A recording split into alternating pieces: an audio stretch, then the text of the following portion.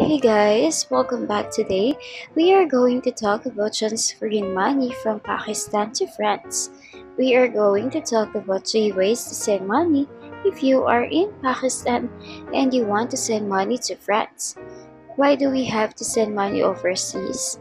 There is a lot of reasons for that, whether it is for buying or selling properties, helping a family or a friend, living or traveling abroad, paying something we buy from international supplier, or for emergency purposes and so on, we wanted to make sure to have a fast, safe, and secure transaction. Transferring money from Pakistan to France, we have the step three ways for you. Our first option is a currency fair.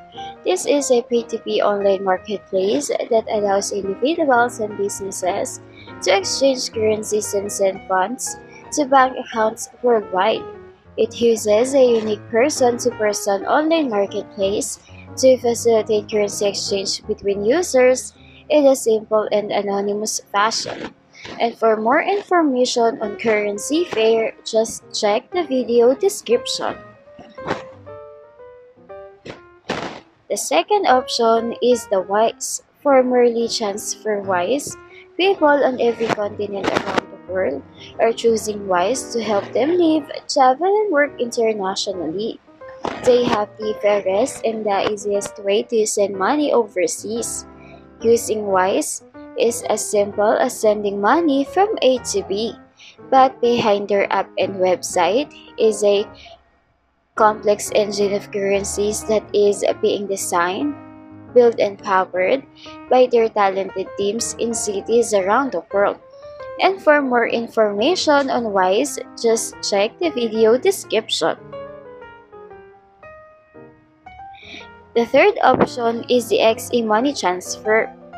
This is an online money transfer company that offers a cheaper and faster way to send money internationally and as has trusted and seasoned name in foreign exchange, they could be a good option for your international money transfer.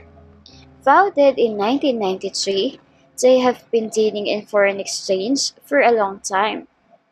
The fact that they don't charge transfer fees or have a minimum transfer amount make them quite attractive.